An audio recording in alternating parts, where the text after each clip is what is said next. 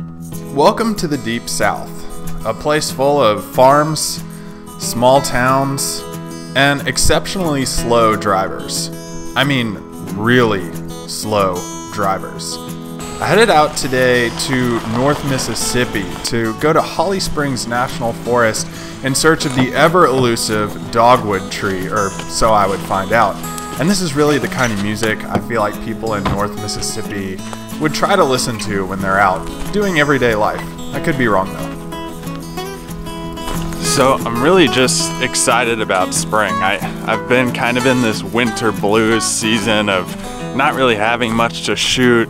We moved to a new place, I didn't really know what areas were close to me or anything like that. So I've been kind of down in the dumps about my photography and like one of the things I love about spring is that it rejuvenates you and I've been watching a lot of the spring colors around me and especially dogwood trees around like the houses that are close to my apartment and they're just in full bloom. Like they're massive just booming white with little pink sections inside and I really wanted to come out and find some away from homes and so that's what I'm searching for today. So I thought you know spring wildflowers dogwoods let's go to Mississippi. Never in my life did I ever think that I would be going to Mississippi to try to find dogwood blooms or wildflowers or anything like that.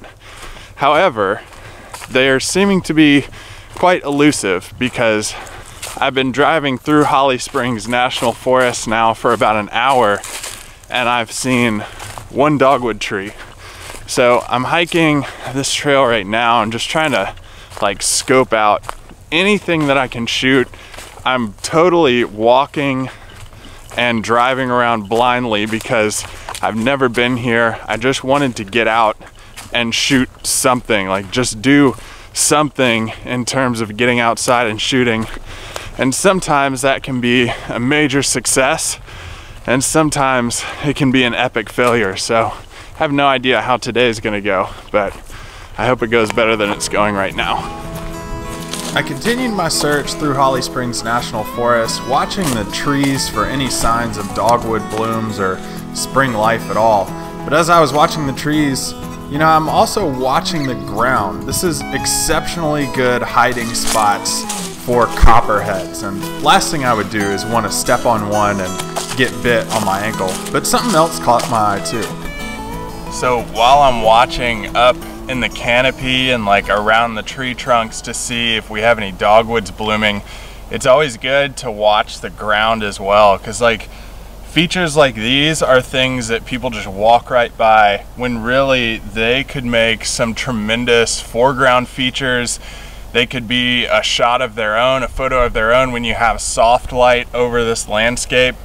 Uh, right now you can't really shoot them very well because they're like reflecting the sunlight and they have just a lot of harsh light on them and shadows but it's good to take note of things like this along the trail getting up close to them without stepping on them actually and, and just getting to where you can photograph them again using them as a nice foreground or in a photo themselves when you have a bunch together and really group those together in a nice macro shot or a small scene shot would be a really cool way to shoot these so logging that away in my head if we come back and we have some soft light or some clouds because right now you can't really shoot them but logging that away in my head.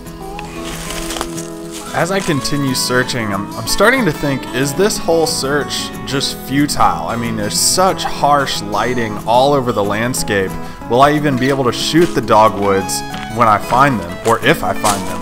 And then some really interesting backlight caught my eye. So, right behind me here is one reason why I love one way in, one way out trails because we have a great example of something that I didn't see coming in. We have these tree trunks back here that are like these old southern pines and then we have new growth growing up around it and really budding during the spring. And the spring leaves are backlit which means the light is coming from the back. So it's really illuminating those. So we have brights and shadows combined old and new combined creating a lot of contrast for our photography. So this is really actually pretty cool. Uh, just a simple shot. It's not really what I'm searching for today with dogwoods, but it's good to have one shot in the can before we head out and like maybe this day is a wash, but at least we have one photo to grab. So basically what I'm trying to do here is just frame this up to create a simple shot.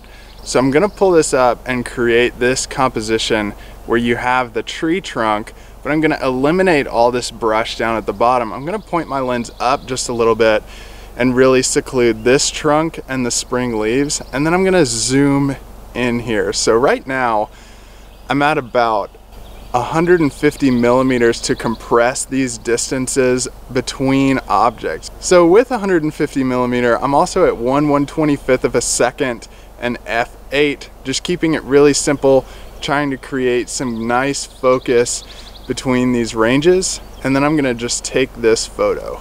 So cool shot, nothing huge or groundbreaking or anything like that. Just a cool, simple shot. You know, it screams spring. That's what I love about this shot is, is, is newness and rejuvenation. So cool shot to get along the trail. I decided this section of the park wasn't really working, so I packed up my bag and headed back to the car. And, and while I never think a photographic shoot is a disappointment because how lucky are we to get out and photograph amazing places and hike and explore? It's really fun to do, so it's never a disappointment. I am still kind of really bummed that I didn't find the dogwoods. So I was sure that there were going to be some dogwoods around here and be able to photograph, compressing distance, telephoto lens, all that, but it looks like I've completely misjudged when the dogwoods are going to be here because there are literally none around me. I felt being further south as Mississippi is, the weather would be warmer down here for a longer period of time. Maybe they've had more rain or something like that, but there's just literally no sign of dogwood here. We did get that one shot, which was fine. It was cool, and it was really fun to be out hiking and scouting and just exploring. But I'm going to head over to the other side of the park and really see if I can find something to shoot there. First, I'm going to eat these carrots. Ever optimistic, I set out to the other side of the park in hopes of finding my elusive dogwood trees, but quickly realized that that may not happen. After several miles of just railroad tracks, I decided to make a detour. So overall, today's pretty unexpected day, and you may be wondering, how did we end up here? And honestly, I'm wondering the exact same thing. And such is the life of a landscape photographer. You never really know what's going to happen. You may set out for a certain thing and then it just doesn't work out and you have to quickly adapt.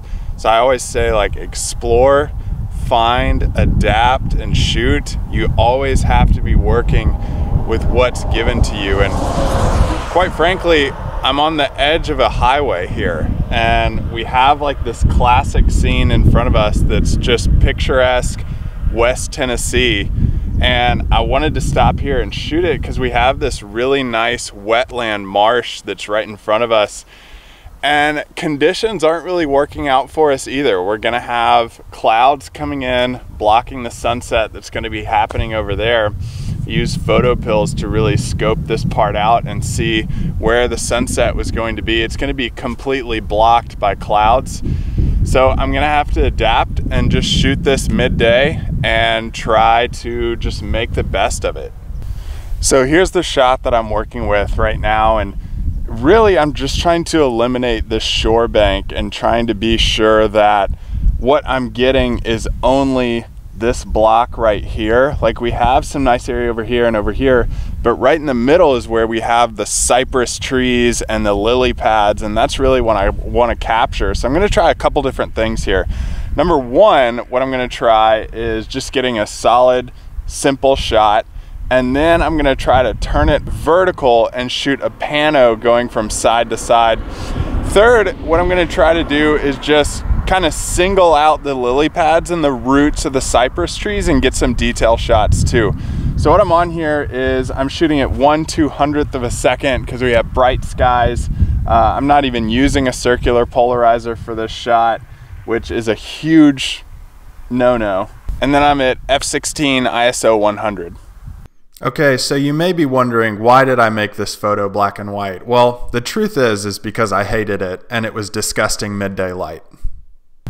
All right, so now I'm gonna go for the pano shot. What you wanna do is put your camera vertical and just be sure that it's completely level. Then you wanna free up your panning option on your tripod. And once that is loose, you can easily swing this from side to side without getting any jolts or getting your horizon line messed up. You can just pan this straight across. So I'm just gonna start over here. And then I'm gonna gently move over, shoot another one, and I'm just gonna repeat this process over and over. You don't wanna like lose any gaps here. You wanna overlap the frame a little bit so that your pano merge can be seamless. This pano actually turned out pretty cool. While the light isn't great, I still think the merge and the scene overall was pretty interesting for this shot. All right, now let's get out the telephoto. This is where the fun part happens. This is my favorite type of photography. Now, it was fun shooting these photos with a telephoto and trying to line up the lily pads with the cypress roots, really getting into the water and reflection and all that stuff. Do I think these photos are good? Well, no. In fact, I may open up a gallery and entitle all of these hot garbage because they're really not that good. This photo of the tree in the forest was pretty cool, but overall it was kind of a disappointing day for photos. It was still fun to get out and shoot. I would still encourage you to subscribe in hopes of maybe I'll take a photo one of these days that'll be worthy of your acceptance.